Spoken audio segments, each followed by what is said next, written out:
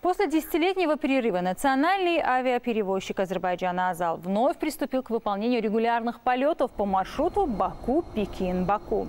Первый лайнер, вылетевший из Баку вечером 19 декабря, приземлился в Пекинском международном аэропорту 20 декабря около 7 часов утра по местному времени. Рейсы из Баку в Пекин и обратно будут выполняться дважды в неделю.